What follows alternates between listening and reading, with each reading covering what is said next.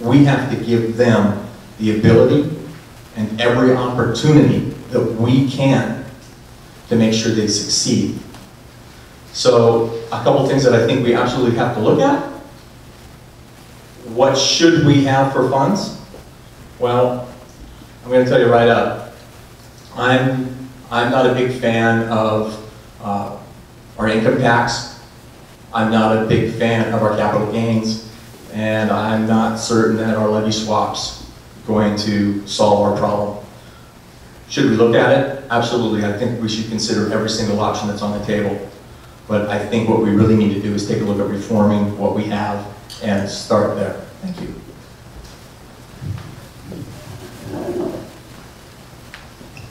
Okay, so no, we have not met our obligation yet. There has been some good work since 2011 to fund all-day kindergarten, to do some increased funding for materials and supplies, to reduce class sizes at K through 3.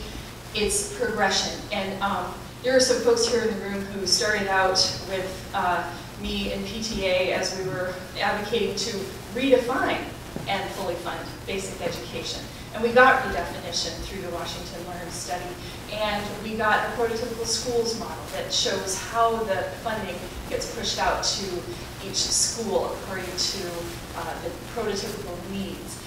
But we haven't taken that last step. So yes, this is the year to do it. We're in contempt of court, so this is really rubber hits the road here, folks. And we need to take a look at a lot of different. So one that was mentioned is capture some of the natural growth in our economy as it continues to roar back. Uh, another thing to take a look at is um, capital gains tax. I think that is a tool that we can use. I think that reforming our B&O tax so that it is more fair.